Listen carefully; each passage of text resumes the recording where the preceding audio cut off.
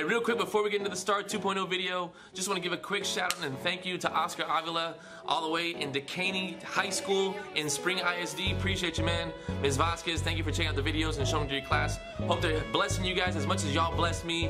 And just thank you so much for the encouragement, and I really, really appreciate it. All right, STAAR 2.0 video. All right, let's go.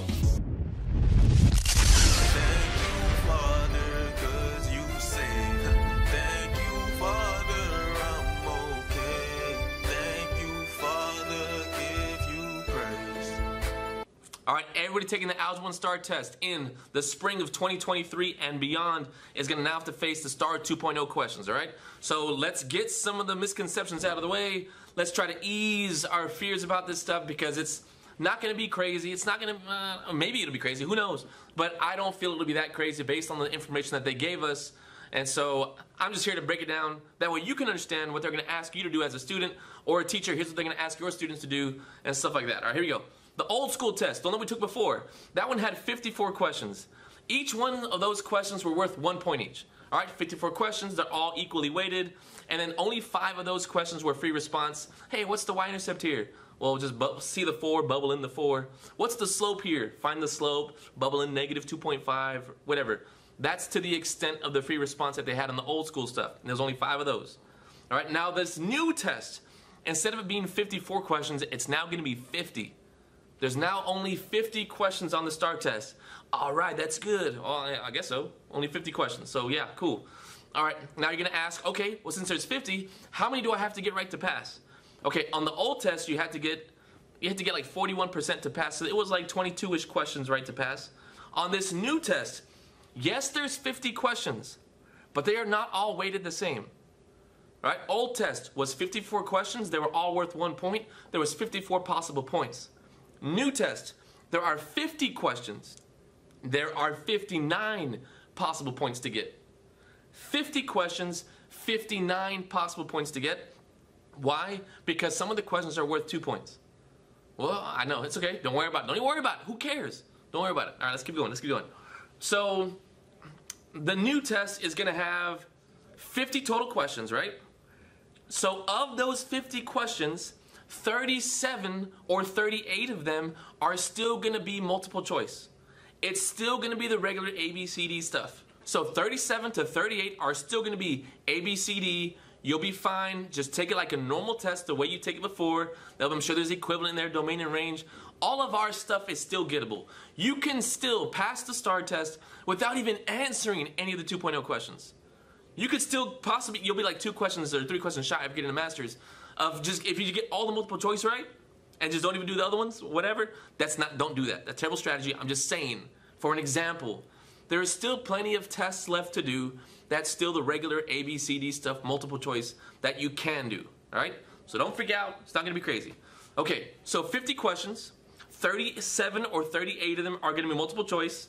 That means that we have 12 or 13 that are going to be the 2.0 style questions. Now, the 2.0 style questions, there's going to be stuff that's worth one point on 2.0 questions, and then there'll be some other 2.0 questions that are worth two points each. Just know 38 questions are still multiple choice. 13 or 12 of these are going to be the 2.0 style. Some of them are going to be easier than others.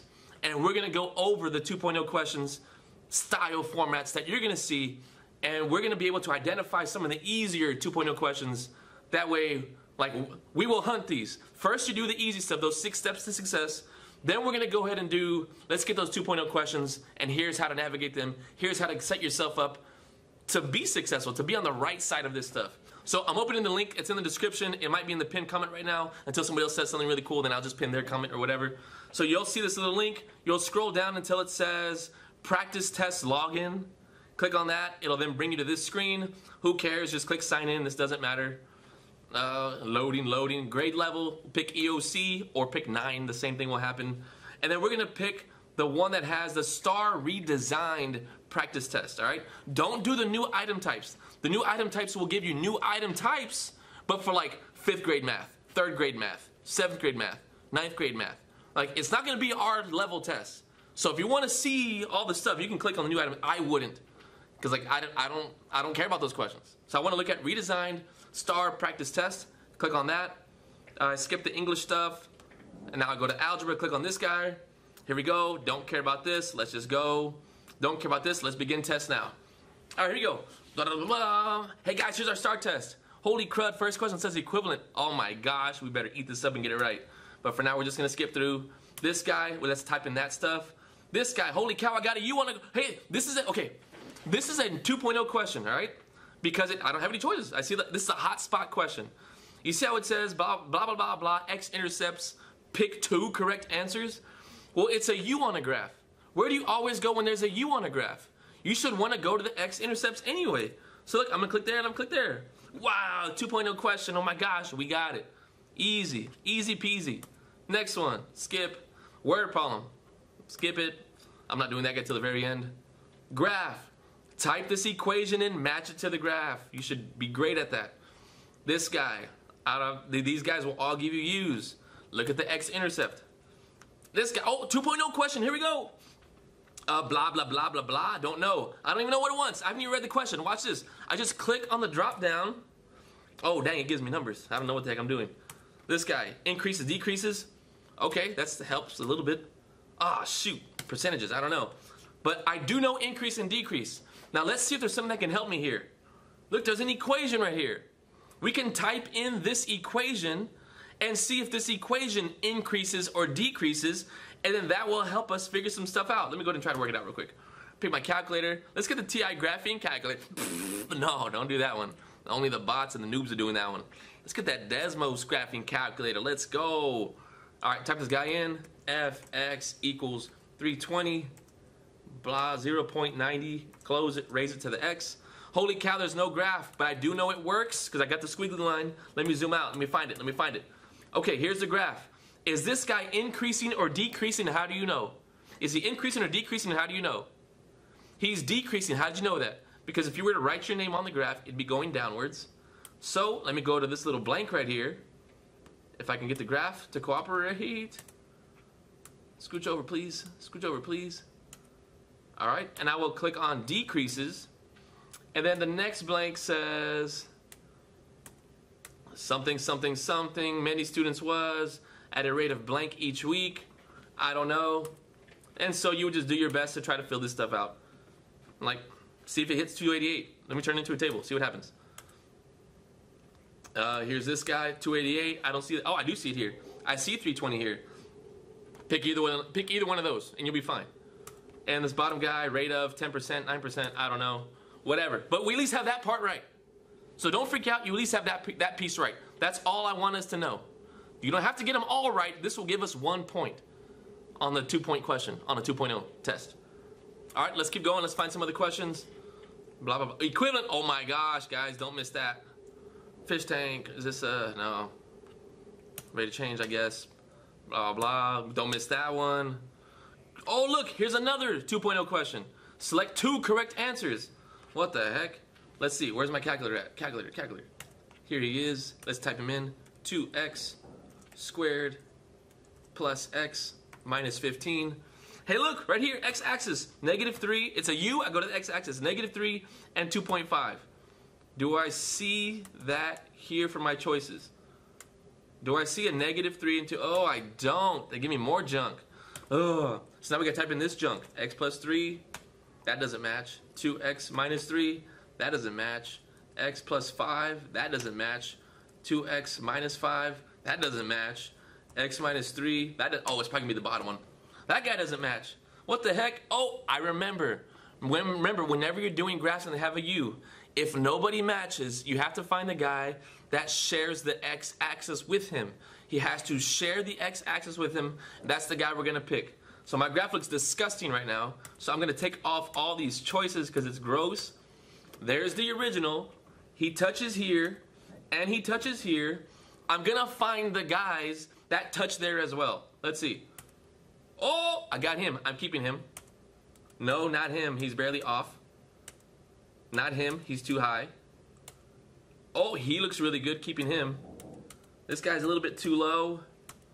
This guy's a little bit too low as well. So I like this guy and I like that guy, so I'm picking this and I'm picking this. And look, it says select two, and I've got two, so I like this. All right, that's 2.0 question. Next guy. Blah, blah, blah. No, not 2.0. Not 2.0. Not, uh, not 2.0. Type that stuff in. Oh, 2.0. Here we go. 15. Ugh. What are the slope and y-intercept of the function below? Match the correct answers. Uh, huh? This is like a drag and drop thing. They want me to do slope and y-intercept. Y-intercept is super important that you know. It's where the graph touches the y-line.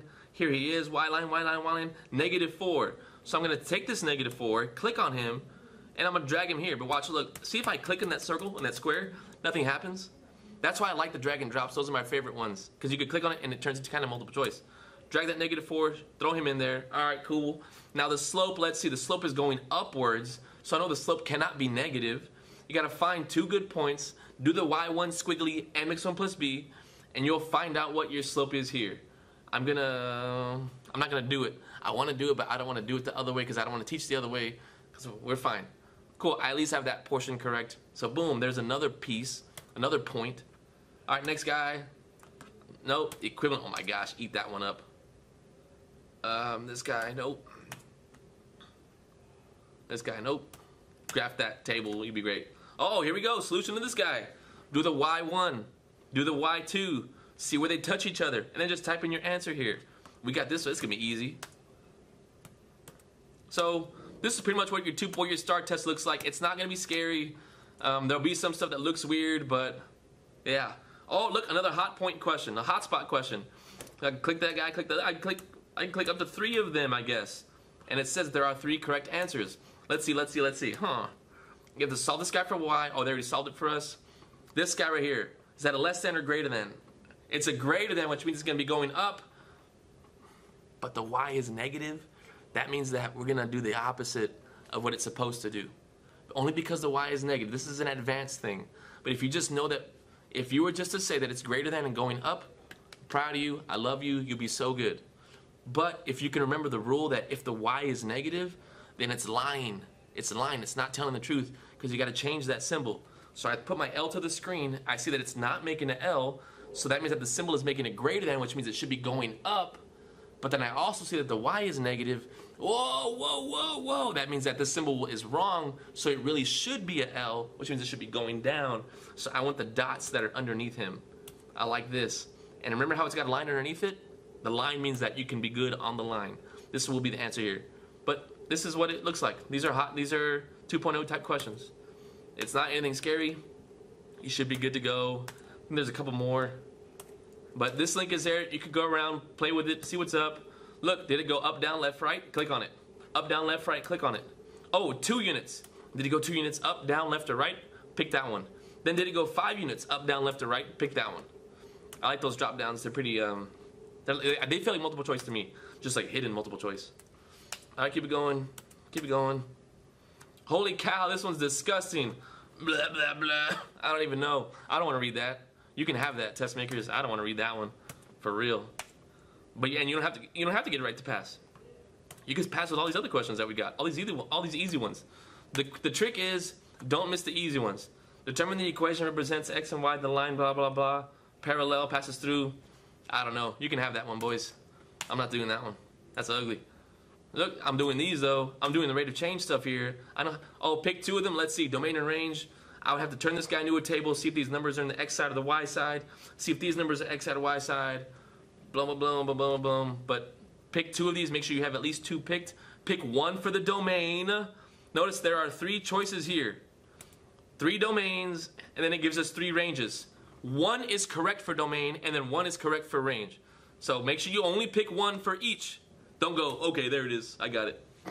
No. Pick one for that and one for that. Good luck. All right, next one, I got 38. Doesn't matter.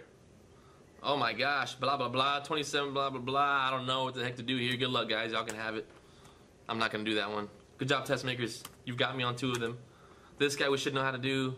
Slip of a line. Giving us two points. You better Y1 squiggly MX1 plus B this guy. Get him.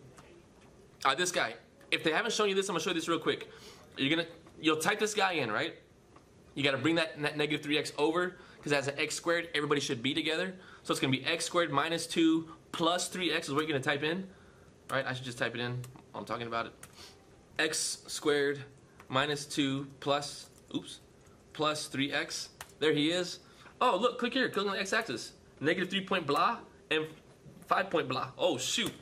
All right, it can't be choice B or D because these aren't decimals. And I have decimals right here, right? Those are my x-intercepts. So if I'm going to type in choice A, you have to type it in like this. It's 3 plus. Then you put the square root in of 17, highlight the whole guy, divided by 2. You cannot put the minus with him. You can't write this the way that this is written. You can't go 3 plus minus. No, something weird happens. So you go 3 plus, and I get a 3.5. No, I don't have a 3.5 at all. So it's not this guy. Let me try the bottom guy.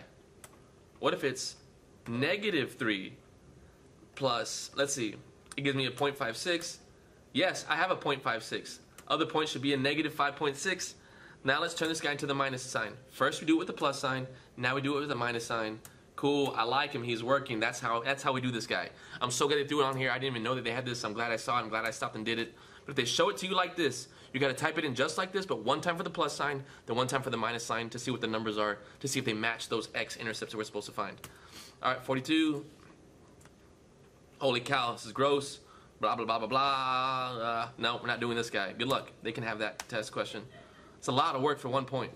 This guy, type, type in the choices, pull up a table, match him up. That's still worth one point. We'll be good here. Vertex, uh, line on the grid, not 2.0. Uh, what's this? No, don't worry about this. Not 2.0. 2.0. Here we go. Drag and drop stuff. I'm gonna drop these numbers in here. See what's up. The function of blah blah blah blah blah. Complete the function slope intercept form to blah blah blah blah blah. Man, I don't know. I kind of don't even want to deal with this right now. I'm not doing him. I don't want to do him. For real. Next.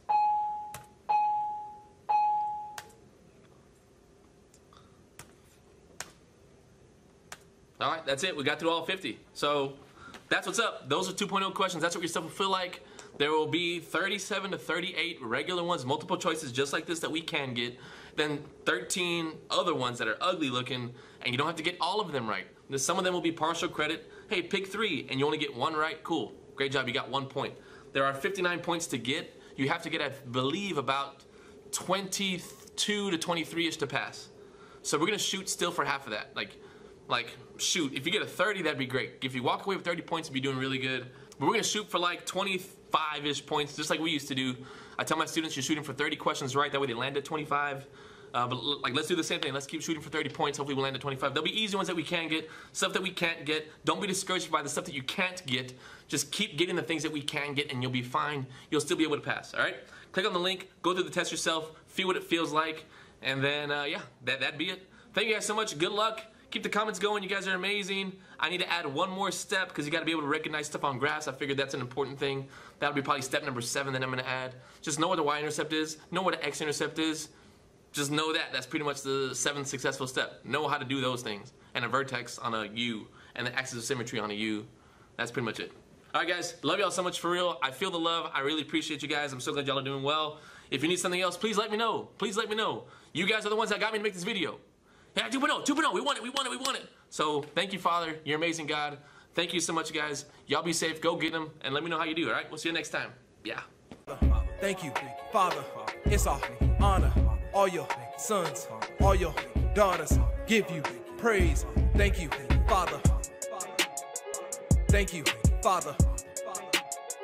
Thank you, Father. Thank you, Father.